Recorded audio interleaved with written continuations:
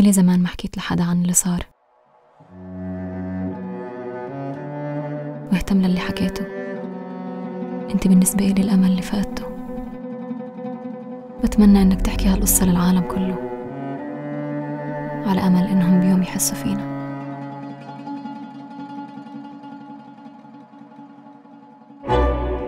شكراً.